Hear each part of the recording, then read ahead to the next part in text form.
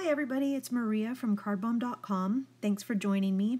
Today I will be creating for Tonic Studios using the Mermaid with Love die range to create some sparkly shimmering cards. Before we get started, I'd like to talk a little bit about these dies because they are gorgeous. There are some smaller sets that I'm showing you now that accompany two larger sets that have quite a few dies. This is the first of those two large sets, and this one is called the Oceana Layering Die Set. It's got seven circular um, dies and two that can be a corner piece. And this is the second of the two sets, and this one is the Marina layering die set, and this one is my favorite. I love all the shells in this, and um, I was really surprised at the versatility of this of these dies because I've never used anything quite like these. There are a series of fancy, intricate um, dies, and each one of those has what I'm calling a cutting ring around the fancy layer. So you can cut every single fancy layer out with those cutting rings, and you can also cut the inside of the fancy layers out with those cutting rings. You can skip using the cutting rings to die cut the design straight into your cardstock, or use only the outer ring to get a fancy circle like that one. If you use both of the cutting rings, you'll end up with a fancy detailed circle like that one that I just placed down in the top left corner. You can also achieve really different looks with these dies just by choosing to remove different parts of the negative space from the die cuts. So on this piece, I've removed no negative space, and this is the exact same die cut with the center removed and all of the negative space removed as well, and you can see how different it looks. Another great thing about these dies is that the cutting rings cut the perfect size circles to layer with the coordinating pieces. So whether you choose to use the cutting rings with your detailed dies or not, they will match perfectly. Now let's take a quick look at the four dies that are part of this Mermaid to be Loved die range. Each of these dies have a really fun sentiment, and three of them also have a silhouette background, as shown here on the Mermaid Kisses and Starfish Wishes. So that silhouette background comes in all of these sets except for the Make a Splash set. So I haven't included in it, it, here on the Mermaid to be Friends, but what I have done is left some of the negative pieces in on the shells to show you how you can make them a little bit more substantial by leaving pieces in. This is the Make a Splash set, and that is the only one that does not have a silhouette background. I do love the font on that one though. Now these seashells and sea stars are part of that larger Marina layering die set. So it's that piece and that piece right there and they cut out just beautifully and you can use those for corner pieces you can use them on top of a circle depending on how you choose to decorate these die cuts you can really create some different and fun looks as I have here now let's get on to today's project. All the measurements for these pieces are going to be on the blog, so be sure to check back there for more details. But this is watercolor paper that I'm going to be starting out with, and I'm using my Nuvo Aquaflow pens in Aqua Splash, True Turquoise, Indigo Dawn, and Azure Blue. I'm starting out by putting a lot of clean water onto both of my watercolor pieces. I decided to do these both at the same time because I'm using the same colors on both pieces. However, I'm going to be making that smaller piece a lot less saturated than I am going to be doing the larger piece.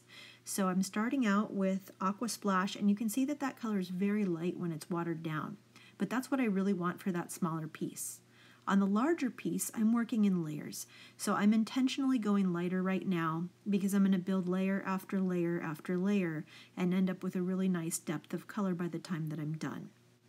I also want to point out that I'm intentionally moving from side to side with my brush strokes. I'm not trying to place colors in any specific places. I'm not trying to do darker at the bottom for depth of the ocean or anything like that. I just want to have side to side brush, brush strokes um, for a really smooth look. So as I'm starting to add more colors on that larger piece, you can see that I'm getting now uh, more depth of color and the color is becoming more bold. I decided that the smaller piece was as dark as I wanted it to be and so I put that off to the side to dry. I do always like to let my watercolor pieces dry naturally whenever possible. You can hit yours with a heat tool if you like, but you have to be careful of warping. And if you have a lot of water on your page, you have to make sure that you're not blowing the water around and getting um, dribbles in your page, if you know what I'm talking about. Sometimes the water starts running around, and as you chase it with your heat tool, it dries in runs on your page.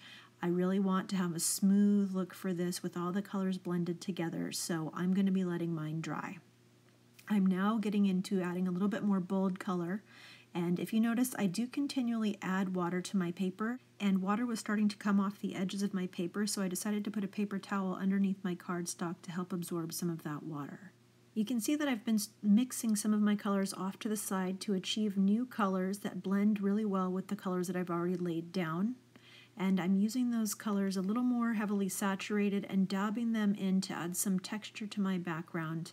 And I'm really starting to like the way that it looks. So I'm going to let it dry off to the side and here it is dried like magic. I'm going to use my Nuvo tape runner to apply adhesive to the back and I'm going to center that on my card base.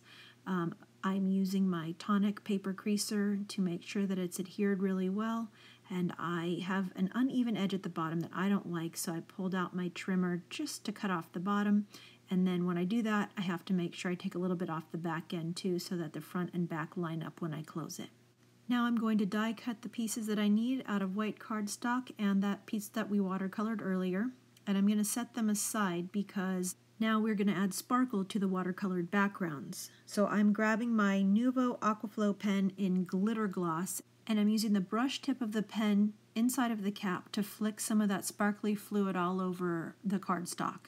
Now it wasn't coming out the way I wanted to, so I squeezed a little drop of it inside of the lid and you can see how much more sparkle I'm getting now that I've done that. Now we're going to set this off to the side to dry and in the meantime we're going to die cut Mermaid Kisses and Starfit fish wishes from a piece of black glossy cardstock with double-sided adhesive on the back. So I cut that out and now I'm going to use my poking tool to poke the negative pieces out of that and I'm being careful to leave the sentiment inside of the die. So don't pull the whole sentiment out, just remove the pieces from the negative space that you don't want to have in there. Once that's done, I'm going to show you how to line this up and get perfect placement with your sentiment. Before we do that, let's poke out the negative pieces from this larger die cut piece that we'd set aside earlier. And what I'm doing is I'm just taking the negative pieces and I've decided that I'm going to leave these seashells solid except for that one big piece on those conch shells. So after those are all out, we'll set that to the side and we're ready to remove the backing from our sentiment so that we can adhere it. The next thing you're going to do is remove any pieces you may have missed the first time around and then stick it down onto your die cut just where you want it and press down to kind of get that adhesive to stick in place. I used my poking tool to help push down some extra places and to help separate that die cut and look at that perfect placement. So now that that's adhered, we can go ahead and use some foam dimensionals to start putting our card together and popping up different layers.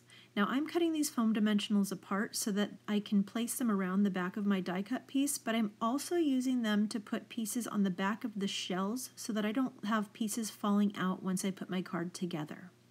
Look at the sparkle on that background, and here's how it looks with that die cut piece placed in the center. Now I'm going to put the foam dimensionals on the back of my sentiment piece and add that onto the center as well. Now that's it for putting the card together, but now we need to add some embellishments. So I've got my Nuvo Smooth Precision pen and my Silver Rain sequins, which are gorgeous. They're so sparkly.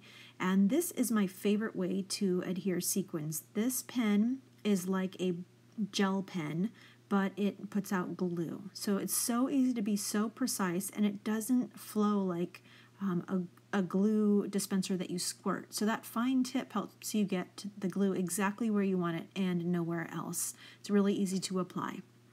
So I'm adding my sequins on and I only wanted to add a couple. So I'm using my poking tool just to make sure that they're pressed down firmly before I move on to adding my dream drops. I am using Dream Drops and Indigo Eclipse and Fairy Wings today, and I am really excited about these Dream Drops, you guys. And the reason why is because they make perfect drops every single time. I'm so amazed by how easily you can get a perfect drop. Um, you don't have to shake the paper, you don't have to try and level them out afterwards. They're just perfect every single time that I've used them. I'm really impressed by them. So it's not just their beautiful opalescent, dreamy look that I like, because I do love that, but I just also love how easy they are to use. So this is the finished card. Thank you guys so much for joining me today. If you've enjoyed this video, please subscribe to both the Tonic YouTube channel as well as Card Bomb by Maria Willis. If you're interested in checking out any of the products that I've used today, there will be links to them on the blog, and there is a link to the blog post in the comments below. Thanks again, you all. I'll see you back here real soon. Bye for now.